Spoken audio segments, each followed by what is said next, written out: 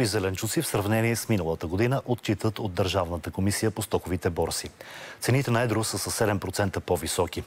До крайния потребител обаче увеличението е драстично. Защо все още традицията да се произвежда домашна зимнина е предпочитана, вижте.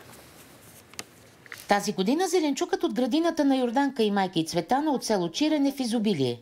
Дадени Господи домати и чушки и всичко каквото насадихме. Бурканите с паприка, шмлени домати и туршия вече са готови. Калкулираме цената на парената, доза от която се приготвя с 5 кг чушки, 2 зеле, моркови и чесън. Грубо казано, за тези 17 буркана, които аз съм приготвила, съм вложила като средства, ако съм ги закупила, към 25 лева. Излиза към лев и 35 буркана. Има неща, които ние ги купуваме без, без оцет, олио, захар, сол, капачки. Не може. Правенето на консерви е добър начин за економии, особено в малките населени места, но с продукция от пазара сметката излиза солена. В магазина буркан парена туршия, като на Йорданка, струва между 3 и 4 лева. На пазара килограм червени пиперки стига до 3 лева, пътлачанът до 2, доматите за консерва до лев и 50.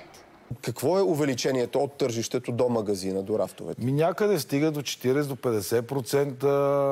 Нормалното увеличение е между 30 и 35%, ако за Сергия вече зависи от качеството на магазина и местото, където се предлага и разходите, които изискват това место.